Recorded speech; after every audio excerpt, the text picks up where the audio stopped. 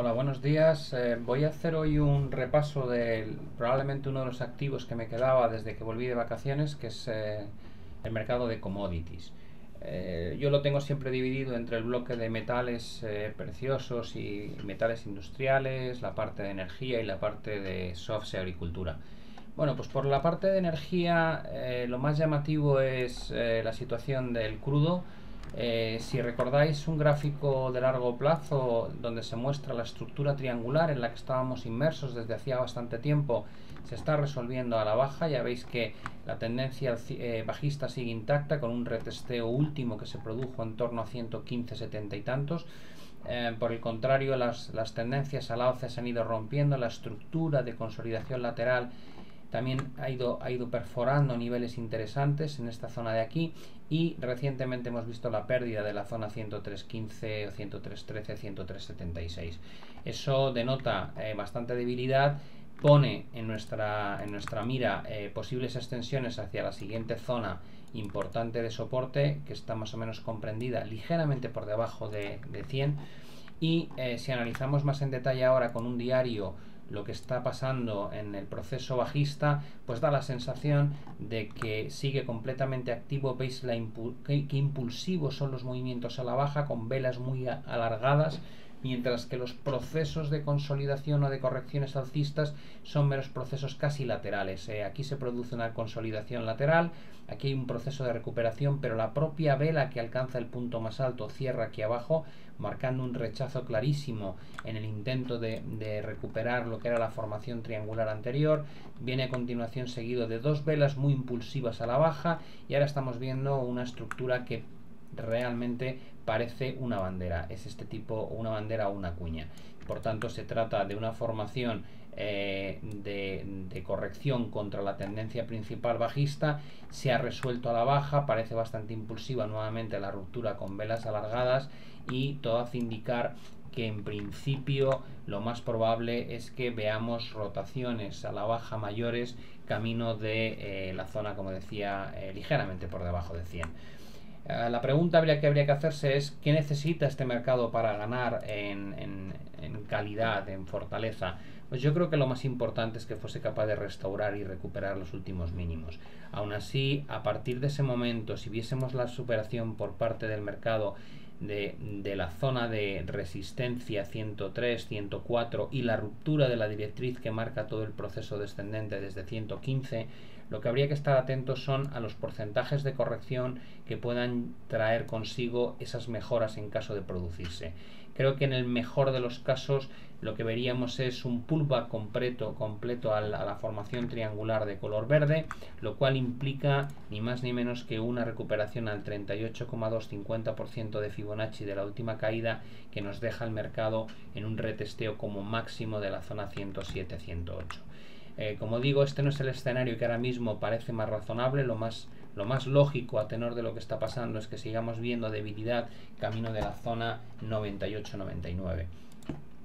Este escenario, si lo comparamos con lo que estamos viviendo en el, en el mercado de West Texas, es decir, el crudo en Estados Unidos, se, nota una estructura mucho menos eh, penalizada que en el Brent en Europa eh, aquí lo que vemos es que se han roto también soportes muy significativos entre 97 y 99. Eso ha dado pie a extensiones fuertes a la baja. Como podéis ver aquí también los movimientos a la baja son mucho más impetuosos y de mucha mayor fortaleza que las correcciones que vemos que se producen hacia arriba, estamos en un proceso correctivo. Este proceso correctivo tal vez incluso alcance la zona de 97, 97, 10, un retesteo de estos mínimos y de estos mínimos de aquí y un acercamiento a la directriz que marca todo el proceso bajista desde los altos en 108. A partir de aquí lo más probable es que encontremos una resistencia y nuevas eh, fases impulsivas a la baja con un primer objetivo bastante razonable en la zona 91, 30, 92, 30,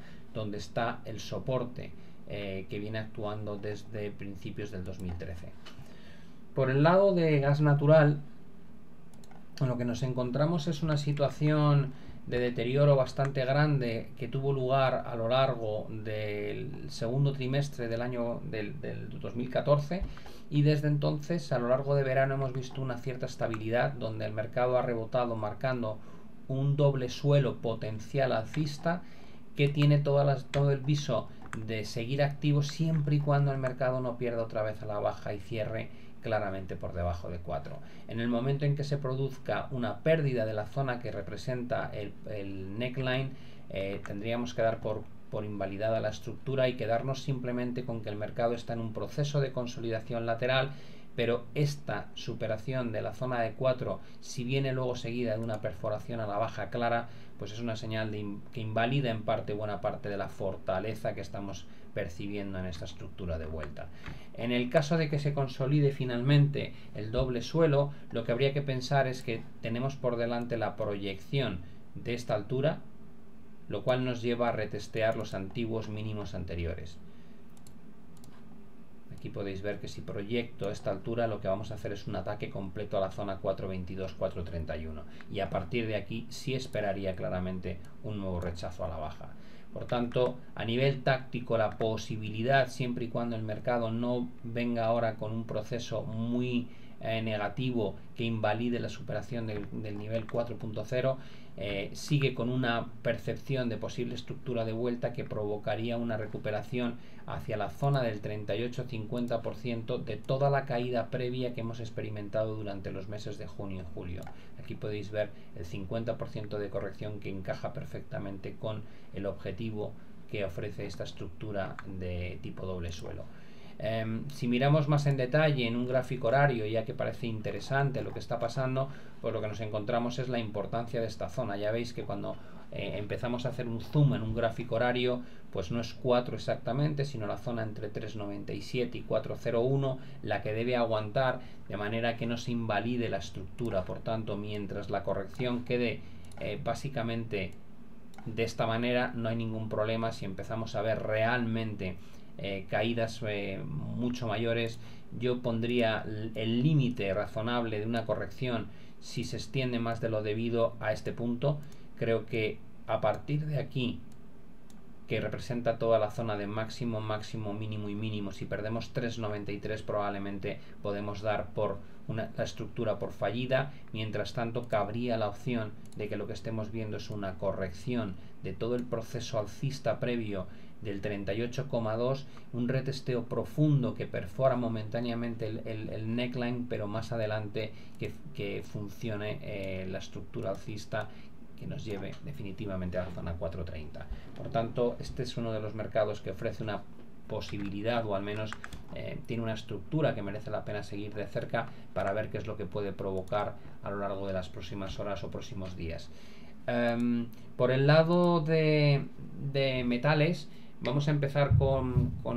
la visión de metales preciosos. Aquí me voy a ayudar de gráficos que tengo en la plataforma de Metastock, son em, gráficos con una longitud en cuanto a la base de datos mucho mayor y me resulta bastante más fácil eh, mostraros las tendencias que vienen funcionando desde aproximadamente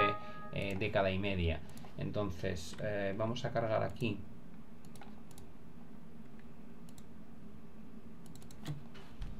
esos gráficos. Como podéis ver en el oro, eh, hay un debate abierto entre distintos analistas eh, que consideran que esta estructura que estamos viviendo lateral desde hace ya más de un año representa una consolidación tipo triangular que va a dar pie a una ruptura a la baja y proyección, por tanto dan por ha hecho que este proceso correctivo no es, no es solamente un proceso correctivo, sino algo de mayor magnitud que va a acabar rompiendo la directriz que arranca en 2000-2001 y que viene funcionando de manera bastante exacta a lo largo de década y media. Yo personalmente creo que la tendencia estructural sigue siendo alcista. No tiene mucho sentido para mí el dar una visión negativa en el oro teniendo en cuenta en qué punto de la tendencia de largo plazo me encuentro. Creo que el proceso de corrección lateral muestra que ahora mismo cotizamos más o menos en mitad de este rango enorme, este, este rectángulo de color azul. Eh, sigo pensando, y esto evidentemente es un riesgo, eh, en la medida en que creo que septiembre puede convertirse en un mes malo para activos de riesgo, creo que el oro y la plata podrían actuar de, activo refugio y por tanto me inclino a pensar que de alguna manera eh, hay posibilidades todavía de que tengamos una extensión hacia la zona 1400-1425 antes de ver una nueva corrección fuerte a la baja. Ese es el escenario de fondo. Voy a mostraros también la plata que la tengo por aquí y de esta manera veis que la situación desde un punto estructural es muy similar, la tendencia en la plata empieza un pelín más tarde, en torno a 2002, pero muestra una tendencia eh, con, bastantes puntos de apoyo que ha funcionado muy bien y el rango de la plata pues bueno, deja delimitado una zona de, por abajo que es realmente fácil de leer. Se trata de todo este soporte en torno a la zona 18-30 aproximadamente Em, que mientras no se rompa da pie a que podamos jugar simplemente pequeñas rotaciones dentro de este rango, entre 18.30 y eh, los máximos de 21.90. Em, todo esto no, parece razonable extender estos movimientos al alza si es que de verdad se producen eh, movimientos o tirones hacia aquí, dada la vigencia de la directriz bajista que está marcada en rojo. Por tanto, yo creo que en la plata tiene sentido ser constructivo mientras no se pierda, como decía, esta zona de 18.30, buscando en gráficos más cortoplacistas posibles señales de vuelta que puedan justificar posicionamientos tácticos hacia la zona de máximos de 22. Eh, no estirar más allá las operaciones. Em, por el contrario, una pérdida de 18.30 tendría repercusiones muy negativas, querría decir que se rompe la tendencia de largo plazo, se perdería una base muy importante, podríamos empezar a proyectar estos rangos laterales hacia abajo y automáticamente pues tendríamos 3-4 puntos de proyección que generarían caídas incluso a la zona de 14-15. Em, volvamos a la plataforma en la que estaba haciendo el análisis eh, ahí podéis ver el movimiento claramente a la baja del oro. Eh, como decía, eh, hay que tener una visión estructural para darse cuenta del por qué, a pesar de, las figuras que están ahora mismo apareciendo en, el gráfico, sigo manteniendo un sesgo relativamente positivo. el mayor riesgo existente y por lo que creo que ha bajado últimamente mirar, ahora está saliendo una noticia precisamente sobre esto. El, motivo por el que creo que muestra tal debilidad el oro estriba en dos conceptos. Es, una, es un activo que normalmente se compra para cubrirnos de riesgo de presión inflacionista. Estamos en un entorno mundial de deflación o de inflaciones muy bajas. No solamente afecta a países desarrollados, sino básicamente también a países emergentes. Por tanto, el entorno inflacionista eh, realmente no es un buen catalizador para comprar el oro. Muchos de los bancos centrales los que están luchando, como pasa en Europa con el señor Draghi, por eh, buscar políticas eh, no convencionales que estimulen el crecimiento y la inflación, puesto que estamos a más de un punto de distancia del objetivo que nos gustaría tener de inflación en la zona euro. por tanto, eso es, un, es, un, es una pesa, una losa para, para la gente que está larga de oro y por otro lado, lo que tenemos es eh, que el oro se compra como moneda refugio, es decir, cuando nos encontramos en un entorno de gran inestabilidad, eh, con, normalmente eso genera caídas fuertes en los activos de riesgo, pues eh, la gente se ve inclinada a, a, buscar activos como el oro donde se sienten cómodos ante posibles cracks o caídas violentas de los activos de riesgo como puede ser la renta variable. Eh, ¿Qué ocurre? Bueno, pues que está Estados Unidos a 2004-2005 haciendo máximos históricos, aparentemente queriendo romper la resistencia psicológica de 2000. Tenemos el jueves a Draghi que viene con aparentemente un paquete de nuevas medidas eh, de, parecidas a, quantitative easing que se ha aplicado en el mundo anglosajón. Por tanto, el entorno para que el oro lo haga bien aparentemente pues no, no, no se ve favorecido en absoluto. Eh, ¿Qué haría falta para que el oro tire? Bueno, pues realmente que septiembre se vuelva de un mes eh, negativo, eh, que empecemos a ver nerviosismo en los inversores, que el nivel de complacencia existente varíe y a partir de ese momento es muy probable que tengamos reacciones positivas. Pero de momento, como digo, eso no está en la agenda y lo único con lo que podemos contar a día de hoy positivo en estos dos activos es la estructura de largo plazo que ofrece directrices no muy lejanas a donde nos encontramos actualmente. Em, por el lado del aluminio eh, hemos visto cómo se ha cumplido el objetivo de la estructura hombro cabeza hombro que jugamos. Eh, me acuerdo que bueno yo creo recordar que en este máximo ya me apeé eh, estaba de vacaciones no había, había ajustado muy poquito el em, había ajustado muy poco los objetivos y bueno pues me salí antes de tiempo. Aún así ahora ya sí que estamos prácticamente en el objetivo puro de la proyección de esta altura como podéis ver, eh, ya habría que darlo por hecho y el nivel al que se va a enfrentar el aluminio en breve pues es una resistencia muy fuerte y parece complicado que una vez lleguemos aquí arriba a la zona en torno a 2145 no vayamos a ver algún tipo de corrección táctica. Este movimiento además al alza representa entre el 38 y el 50% de corrección de toda la gran caída que se produjo desde principios del 2011. Por tanto es un nivel bastante significativo donde podemos ver eh, reacciones a la baja eh, en no mucho tiempo. Em, por el lado del níquel estamos viviendo un mercado tremendamente eh, consolidado lateral, vivió un proceso tremendo de volatilidad a lo largo del principio de años, fijaros el salto desde la zona 13.200 a casi 22.000, em, se produjo en un periodo de tiempo muy breve, febrero y abril, a partir de ahí, ¿qué es lo que ha habido? Hemos visto una estructura correctiva en ABC, seguida de otra estructura correctiva al alza en ABC y otra a la baja en ABC. Por tanto, estamos viendo fases eh,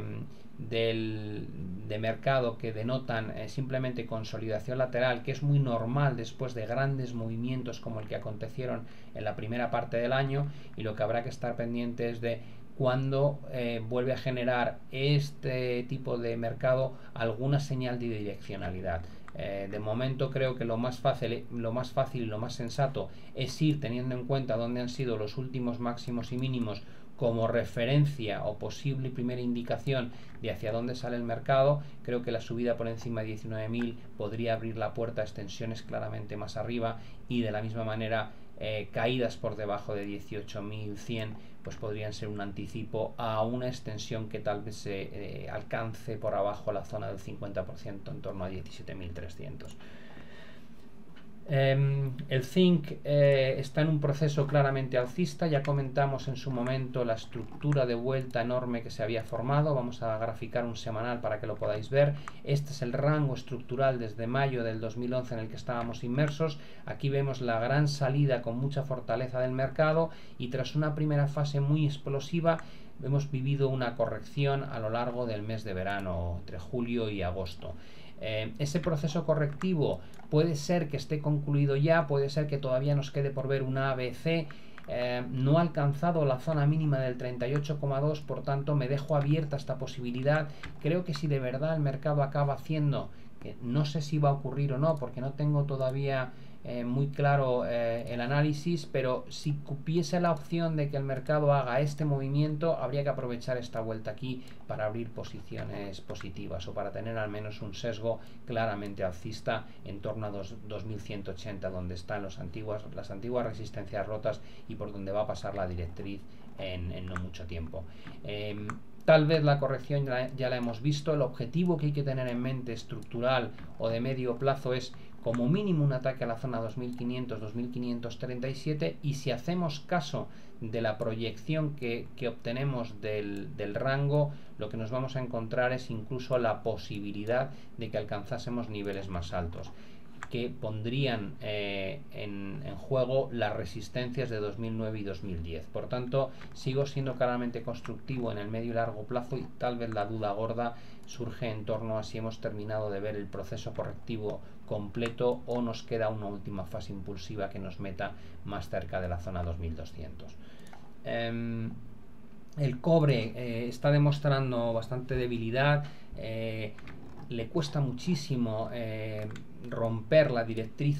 bajista que viene funcionando desde 2010. Hay una, hay una cierta discrepancia o descorrelación importante entre el comportamiento del índice chino de renta variable y el cobre. Es una de las múltiples divergencias o descorrelaciones que se están viviendo a día de hoy en el mercado entre los activos de riesgo y el resto de los de los mercados y eso es como tener una mosca detrás de la oreja respecto a si la fortaleza que exhiben los mercados de renta variable realmente está aquí para quedarse o es simplemente la fase final de un movimiento al alza antes de una corrección significativa. Eh, de momento, como digo, eh, China se ha roto esta zona de resistencia y tiene un aspecto bastante bueno, mientras que por el contrario el cobre, como podéis ver, pues se encuentra en un estado de consolidación y de poca claridad. Ah, tampoco me atrevo a decir que soy muy negativo mientras no vea que se empiezan a perder estas directrices que marcan todo el proceso de mínimos crecientes y máximos crecientes del corto plazo, pero con una tendencia estructural viva de largo plazo negativa, creo que el, el, potencial de recuperación de este activo se limita como máximo a la zona 7380-7500. Eh, em, vamos a pasar al siguiente bloque, que es eh, el último, es el mercado de softs eh, o de agricultura.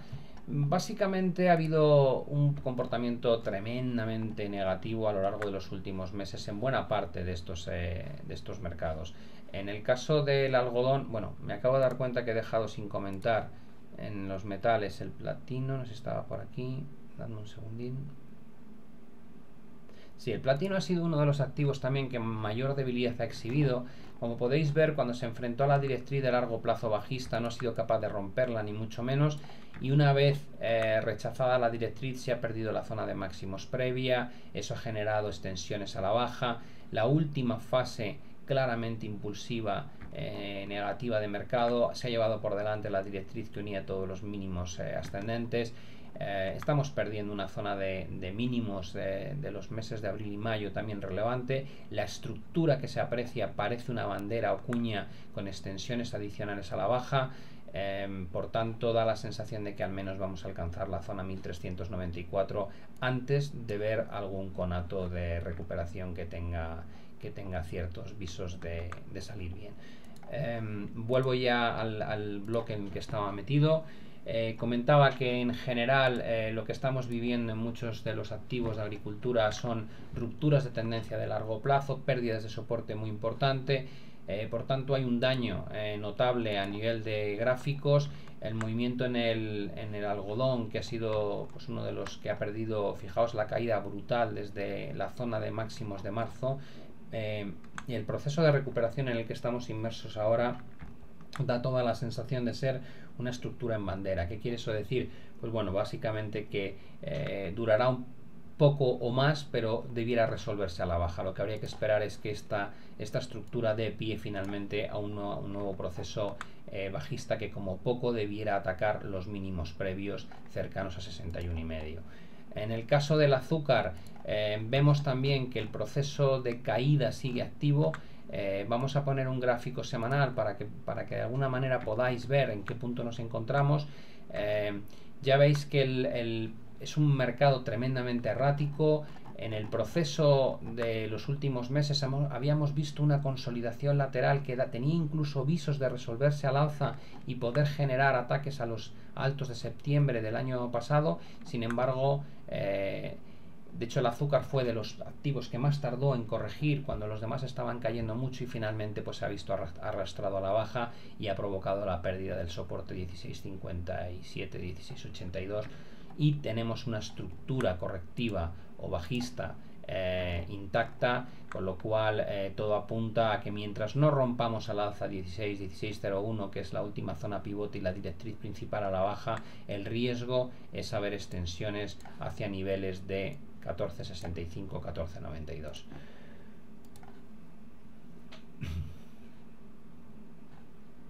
Por el lado del maíz, eh, gran debilidad también, como casi todos los, mercados de, agricultura y grano. Eh, hemos visto una pérdida de un soporte importantísimo en 411, con velas muy impulsivas semanales, y en este momento nos encontramos simple y llanamente en un proceso lateral. Este proceso lateral deja definido un rango entre 360 aproximadamente y, 380. Ahora mismo nos encontramos muy cerca de la parte de abajo. Esto da alguna posibilidad a rebotes tácticos que podrían hacernos eh, llegar aquí, pero realmente para poder ganar algún poco de visibilidad alcista haría falta romper este punto y completar una estructura tipo doble suelo. Por el contrario, perforaciones y pérdidas del soporte lo que denotarían es que este proceso es una mera consolidación de buena parte de toda esta caída que hemos vivido y a partir de ese momento, como mínimo, habría que proyectar este rango a la baja, lo cual nos va a llevar a retestear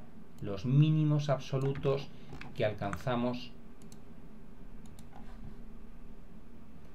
en eh, el año 2006, 2007, 2008 y 2009. Por tanto, un soporte realmente fuerte y a partir del cual tendría sentido empezar a trabajar con una idea más constructiva respecto al potencial del gráfico. Otra cosa que no me gusta es que durante este proceso lateral la situación tremendamente sobrevendida que tenía el indicador mm, oscilador tipo RSI, estocástico, cualquiera que queramos utilizar, momento, lo cierto es que teníamos señales claras de estabilización o posible rebote en base a estos, tres mínimos descendentes con divergencias triples alcistas, pero toda esta señal se ha quedado meramente en un movimiento lateral, lo cual es un síntoma claro de debilidad que nos dice que probablemente cuando acabe por romperse esta directriz a la baja de nuevo, lo que vamos a tener es una señal negativa a nivel de la estructura en precio. Por tanto, eh, como indicador adelantado merece la pena seguir estas directrices en RSI porque podrían ser lo que nos clarifique si vamos a tener este rebote finalmente o por el contrario el mercado va a empezar a romper la parte de abajo y va a hacer su último recorrido hacia el soporte semanal.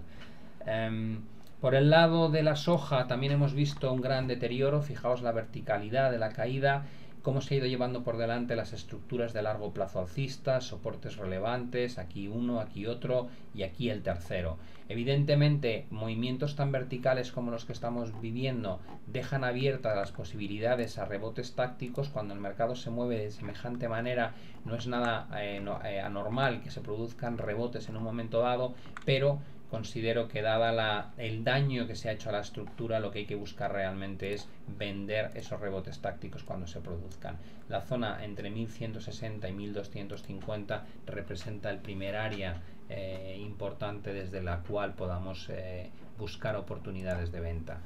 A nivel del trigo, eh, pues es uno de los mercados donde creo que hay un poquito más de estabilidad dentro de este bloque. Es cierto que también se han perforado niveles bastante, bastante importantes desde una perspectiva de largo plazo, pero también tenemos algunas resistencias antiguas que están funcionando bien de soporte. Entre estos mínimos descendentes se puede apreciar claramente una divergencia alcista a nivel de RSI semanal, lo cual está dando cierto soporte en el corto plazo. Eh, si miramos un gráfico diario, lo que nos vamos a encontrar es em,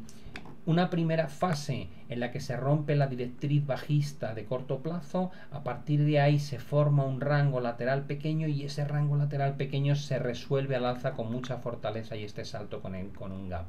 A partir de ahí el mercado cede de nuevo y esta cesión que hace muere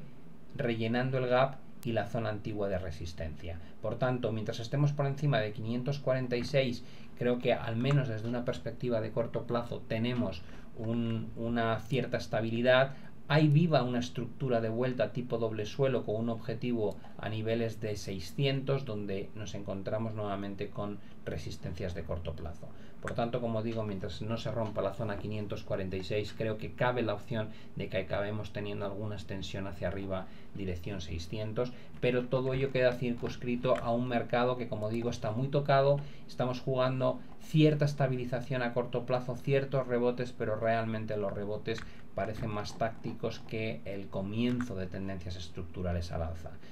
Y dentro del el bloque de todo lo que es grano y, softs, solamente hay un mercado que realmente está demostrando bastante fortaleza, es el café. Eh, dentro del café lo que podemos ver es el movimiento explosivo que tuvo lugar a lo largo del primer trimestre del año, cuando las cosechas de Brasil salieron muy malas. Ah, después una gran corrección, nuevo tirón, entre estos máximos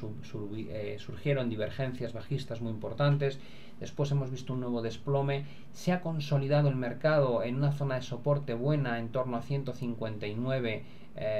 158 a 165 es una zona que anteriormente ya había sido eh, un, punto pivote significativo y a partir de ahí hemos ido viendo cómo iba mejorando el aspecto. La superación de 180 a 184 es positiva, es una nueva zona pivote sobre la cual podemos encontrar soportes y áreas de compra y poco a poco estamos viendo cómo el mercado vuelve a la zona de máximos. Por tanto, queda definido como mercado claramente al alza, con una zona clara de soporte y oportunidades de compra en torno a 180, 185 y las resistencias lógicamente que hay que tener en la cabeza son, por un lado, el máximo en 206, 207 al cual estamos llegando y por supuesto los máximos en 218 que se alcanzaron eh, a lo largo del primer trimestre del año.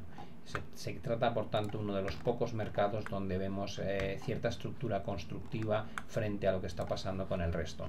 Eh, ya por terminar, me gustaría mirar el CCI. Se trata de, de un índice que aglutina todos los sectores que estaba mirando yo y algunos más. Em, y como podéis ver en el propio índice CCI, que es el Continuous Commodity Index, eh, estamos viviendo ahora un proceso de mejora que debiera traernos a la zona 525-530. Esto que tengo pintado aquí es porque no descarto la posibilidad de que se forme algún tipo de vuelta intermedia antes de alcanzar la zona eh, definitiva de corrección, pero no creo que este movimiento al alza, que nace con un argumento muy bueno, con divergencias en RSI y en estocástico a nivel diario, no creo, como digo, que este movimiento vaya a ser capaz de superar la zona de 530, donde ahora mismo nos vamos a encontrar con un gran techo formado por la zona pivote anterior y la directriz que marca todo el proceso de deterioro desde los máximos absolutos. Por tanto, a corto plazo lo que detecto es mejora adicional, pero limitada a un recorrido cercano a, esta, a este punto tan, tan relevante. Bueno, Cierro aquí la exposición que os estaba haciendo del índice, de los índices de commodities. Se ha hecho muy largo el vídeo, casi 31 minutos. Espero que os haya parecido una, visión global y os ayude a, visualizar qué es lo que está haciendo el mercado eh, de manera general. Eh, os deseo muchísima suerte con vuestro trading y nos vemos en el próximo vídeo. Chao.